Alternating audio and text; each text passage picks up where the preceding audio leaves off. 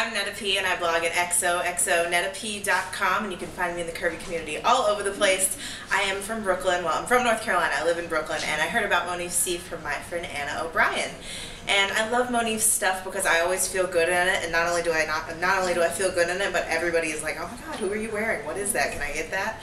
So I love that about her stuff. Um, if I could wear her bathing suit to my favorite place, probably to St. Croix or Antigua, because I know I would look fly on the beach there.